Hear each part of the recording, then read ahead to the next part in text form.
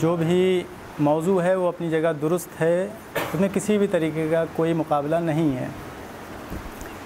सबसे पहले तो ये हमें देखना चाहिए कि इन तमाम अफराद को मुजाहिद बनाया किसने।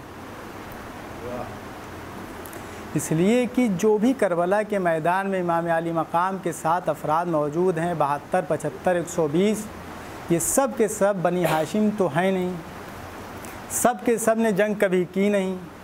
इसमें से बाज़ तो वो हैं जो मुखालफी अली थे, बाज़ वो थे कि जो किरदार को देख कर इमाम के पास आ गए थे। भाई सबने जंग नहीं की, लेकिन जंग न करने के बावजूद मुजाहिद बना देना ये कमाल है।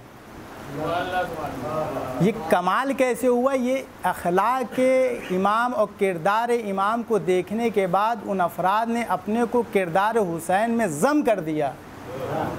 कि जिसके बाद अब जो भी उसमें ज़म हो के बाहर निकला तो अब ये पहचानना मुश्किल हो गया कि ये बनी हाशिम हैं या फिर बनी हाशिम के अलावा अफराद हैं।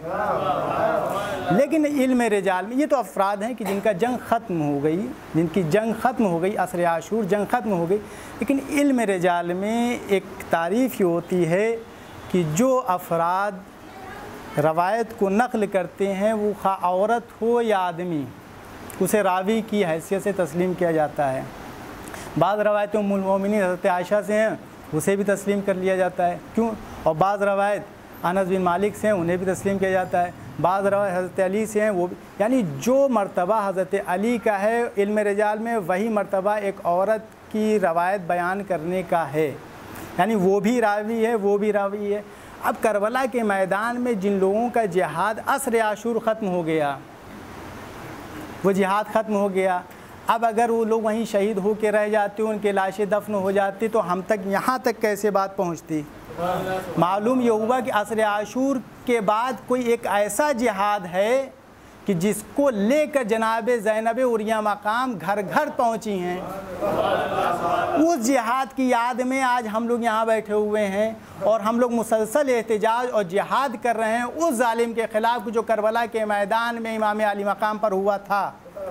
अगर वो मुजाहिदा करबला के मैदान में न होती कि जिन्होंने अपनी तकरीरों के ज़रिए और अपनी तहरीरों के ज़रिए और इमाम अली मकाम, यानी इमाम ज़ैनुलाब्दीन सलाम ने जो तकरीरें फरमाई हैं, जनाब उम कुलसूम सलामुल्लाह ने जो तकरीरें बयान फरमाई हैं उस जिहाद का मुकाबला उस जिहाद से नहीं हो सकता जो असर आशूर तक था। इसलिए कि वो जिहाद एक आसान जिहाद था। सुबह से शुरू हुआ, असर आशूर ख़त्म हो गया।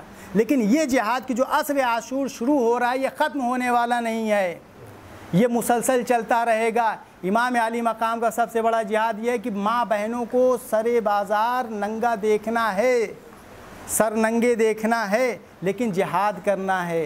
लेकिन इमाम अली मकाम के पैगाम को पहुँचाना है और इमाम ने उस पैगाम को जो इमाम ने, चौथे इमाम को दिया था कि ये मेरे शियों कि जब कभी ठंडा पानी पीना तो हमारी प्यास को याद कर लेना।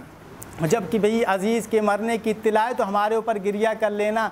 बस ये गिरिया करना और याद करना ही उस मुसलसल जिहाद का एक रास्ता है कि जिसके ऊपर हम आज तक गामजन हैं। वाखर दावान अलहमदिल्ला रबालमी